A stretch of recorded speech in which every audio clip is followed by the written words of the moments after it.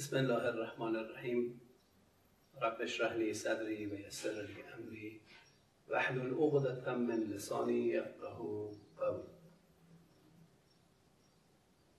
امروز هم روز 27 اردیبهشت 96 وظیفه خودم دونستم تا با جوی که طیف اصولگرا و طرفداران رئیسی علیه یکی از پیمانهای بسیار مهم جمهوری اسلامی در سازمان ملل جبری که ساختن رو تبیین و روشنگری بکنم افکار عمومی رو نسبت به این. و اون چیست؟ پیمان 20 سی به اصطلاح آمیانه.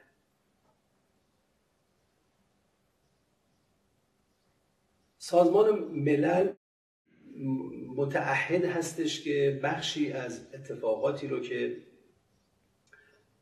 بحران سازی می‌کنه در کره زمین در تمامی جوامع و اقلیم های مختلف نسبت به رفع اون بحران ها فکری بکنه و مسبباتی رو بگذرونه. و کشورهایی که در اون راستا موافق باشن اون پیمان رو امضا می‌کنن. من قبل از اینکه وارد پیمان 20 سی بشم پیمان کیوتو رو به عنوان مثال عرض می‌کنم. پیمان کیوتو در راستای بحرانی که توسط سوراخ شدن لایه اوزون اتفاق افتاد و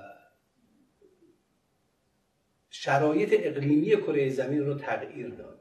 لذا سازمان ملل مکلف کرد خودش رو و دستگاه های زیر مجموعهش رو مثل یونسکو که نسبت به رفع این بحران و جلوگیری از این بحران مصوباتی رو بگذارد لذا پیمان کیوتو در ژاپن محقق شد. اون پیمان این بود که تمامی کشورهای همپیمان اجازه تولید گازهای گلخانه‌ای رو ممنوع کنن در کشورشون. مثلا سیستم های برودتیشون رو به جای اینکه گاز فریون استفاده بکنن از گازهای دیگر مثل آمونیاک از اون بهره باشن چرا که انتشار گازهای گلخانه‌ای از جمله موارد مهم سوراخ شدن لایه اوزون بود. لذا این پیمان بسته شد به ایران هم, هم پیمان شد در اون پیمان و الحمدلله بخشی از شرایط بحران سازی که با سوراخ شدن لایه اوزون اتفاق افتاده بود متوقف شد. و اما پیمان 20 این پیمان نیز سازمان ملل برای رسیدن به اهداف توسعه پایدار. 17 ماده مقرر کرد و آژانس های تخصصی و زیر مجموعهش رو مثل یونسکو مکلف کرد که راهبردهای اجرایی برای رسیدن به این 17 اهداف مهم محقق کنه. و تا سال 2030 بایست به این 17 ماده مقرره برسیم.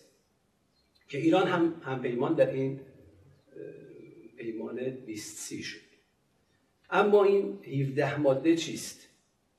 یک پایان دادن به فقر. دو پایان دادن به گرسنگی.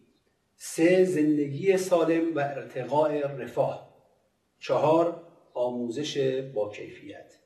پنج برابری جنسیتی. شش دسترسی در دسترس بودن آب سالم. هفت دسترسی به انرژی پاک و مقروم به صرفه. هشت رشد اقتصادی پایدار و کار شایسته. نه ارتقاء زیرساخت های تاباور و صنعتی فراگیر. ده کاهش نابرابری های اجتماعی. یازده شهرها و جوامع پایدار و تاباور دوازده الگوی تولید و مصرف پایدار. سیزده اقدامات جهت مبارزه با تغییرات اقلیمی. چهارده استفاده پایدار اقیانوس ها و دریاها. پانزده ارتقای اکوسیستم و جلوگیری از, از بین رفتن تنوع زیستی. شانزده جامعه پایدار و صلح آمیز هفته احیای مشارکت جهانی برای توسعه پایدار. که در این راستا یونسکو مکلف شد که راهبردهای اجراییش رو اعلام بکنه و حتی هزینه های انجام رسیدن به این هفته ماده رو هم مجامع بین المللی پرداخت کنند نه کشورهای همپیمان. فقط کشورهای همپیمان مکلف به اجرای آن هستند که تازه ایران برای امضای این قرارداد شروطی را گذاشت و اون شروط را الحاق این قرارداد کرد.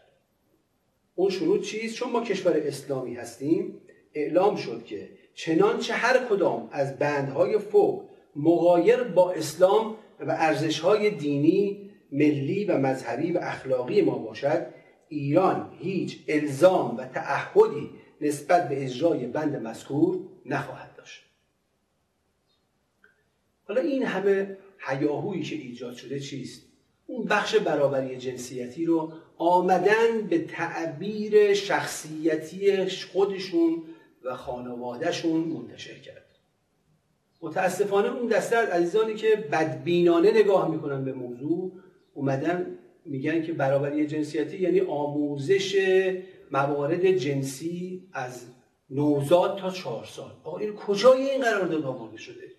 چرا میایید با این کلمات و این جملات بازی می‌کنید با اذهان عمومی؟ چرا افکار عمومی رو مختل می‌کنید نسبت به عملکرد درست دولت جمهوری اسلامی ایران؟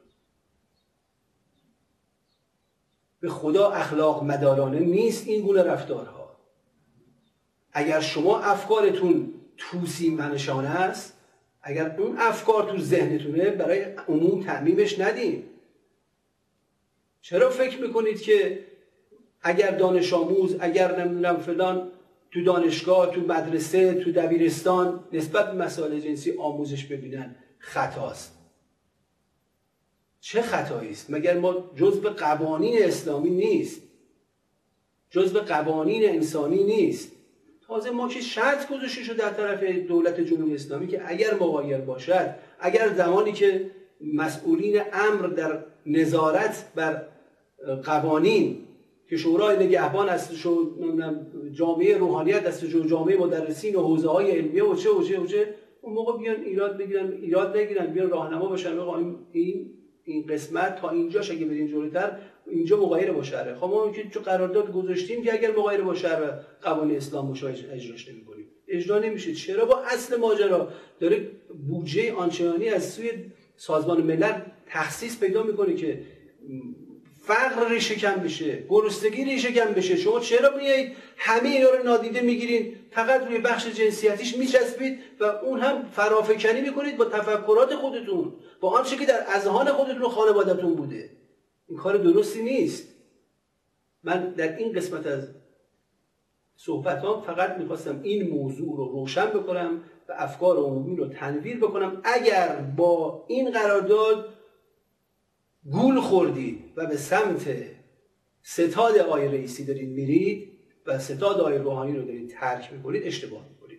من خواستم بگم که در این موضوع نیز آقای دکتر حسن روحانی و تیم مجرب و کارآزمودهش بسیار درست عمل کرده و نه تنها ایراد نیست بلکه یکی از مهمترین و پارامترهای موفقیت آمیز تصمیمات دولت جمهوری اسلامی در زمان آقای دکتر حسن روحانی بوده. لذا باز تاکید می‌کنم از تمامی عزیزان و مخاطبین خودم که فردا هشت صبح نه صبح پای صندوق های رأی به اتفاق یازده نفر از عزیزانی که همراه خودتون می‌برید بروید و رأی خود را قاطعانه به دکتر حسن روحانی بدهید.